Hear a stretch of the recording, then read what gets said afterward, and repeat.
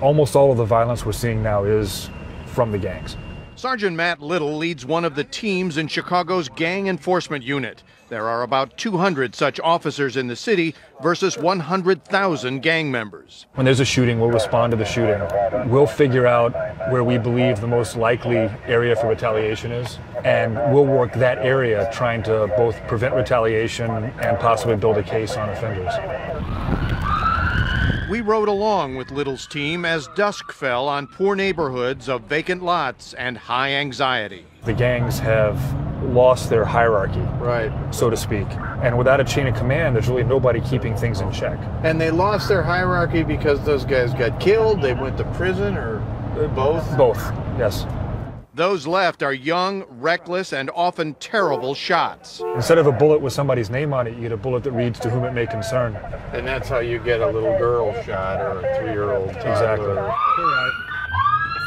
what? We care about the grandmother that lives in the Greystone and is raising her grandkids. We care about the guy who's a hardworking stiff that gets up in the morning and works two jobs.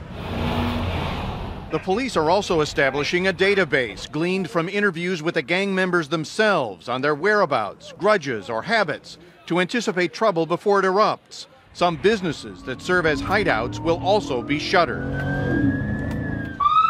Stay in the car.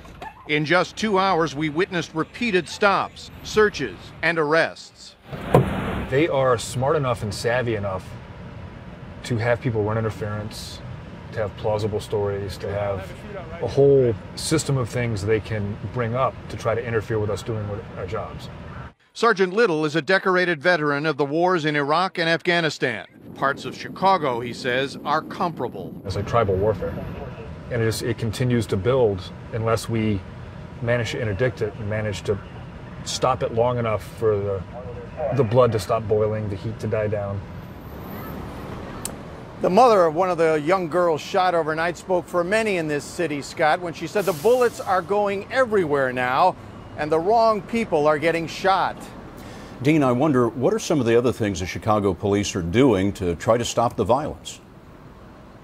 Well, they are really focusing on those corner liquor stores or those businesses that are turning into havens for these gangs, whether they're tolerating them or cooperating with them. The city and the police are going after them and they're going to shut them down. Dean, thanks Scott? very much.